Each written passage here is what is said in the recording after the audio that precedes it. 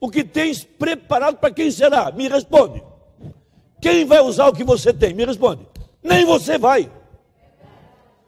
A geração que visse Israel em sua pátria não passaria sem ver o fim. O sinal do filho do homem. É verdade ou não é? E onde é que nós estamos, meu irmão? Me perdoe, eu sou seu irmão. Eu sou uma, um ser humano igual a você.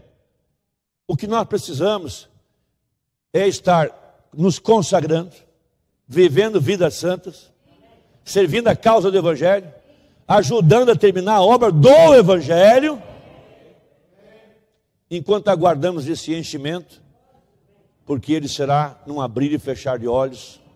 Eu gostaria muito que fosse num culto em que a gente estivesse aqui louvando a Deus, e de repente entrassem os irmãos que morreram, e nós tivéssemos um súbito impulso a Deus. Mundo viu. A mim não importa mais nada. Não, não vou ser um relaxado que não vou mais tomar banho, não é isso. Continuo trabalhando, cuidando das crianças, mas amontoando tesouro lá em cima. Porque aqui embaixo será queimado se não entendeu isso, nunca vai orar certo. Porque você não pode enganar Deus. Eu sempre disse para vocês, quando minhas crianças pediam alguma coisa, eu nunca dava na hora. Esperava elas pedir, pedir, pedir. Porque se eu visse que elas pedissem algo e não voltassem a pedir, é porque não tinha necessidade. Mas se voltasse a pedir, é porque tinha necessidade. Não fala a Bíblia pedir, pedir e dar-se-vos-á? Batei, batei e abrir-se-vos-á. Pelo que, que eu tenho que pedir? nessa hora. Eu estou esperando que essas mensagens despertem nossas almas, porque foi prometido aqui que o mistério da sua segunda vinda, dos sete trovões, traria um avivamento tal que nos tiraria da terra no arrebatamento.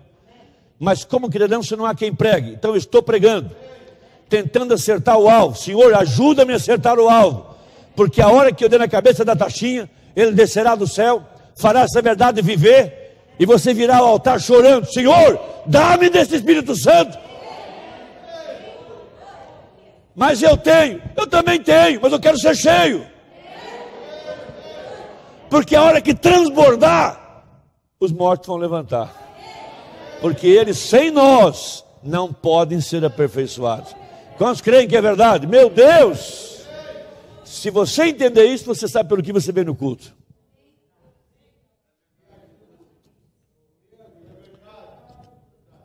mais de 80%, se eu puder fazer uma conta desse livrinho chamado Sete Selos, mais de 70%, mais de 80% é a revelação do sétimo selo. 20% é rapidinho. Quem foi o cavalo branco? Quem foi o vermelho? Quem foi o preto? E assim por diante. Mas o tempo todo batendo no mistério do Filho do Homem, Apocalipse 17, no vaso de barro, no plano da redenção. Por isso perguntaram a ele, irmão Brana, Será o mistério dos sete trovões, uma mensagem especial que Deus dará a alguém para trazer fé para o rápido? Ele falou: não.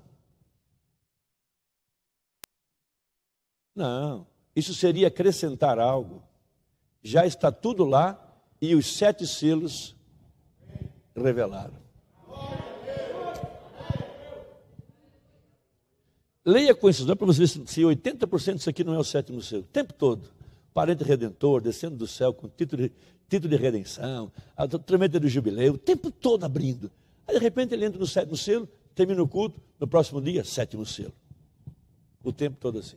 Deus em simplicidade, o tempo todo. Deus escondido em simplicidade. O que ele está falando? Do tesouro no vaso de barro. É que as pessoas querem uma coisa grande, mas o tesouro está no vaso de barro. Era Deus em Cristo o tempo todo. Ele está mostrando o sétimo selo, ele está, está abrindo o sétimo selo. Quantos captaram?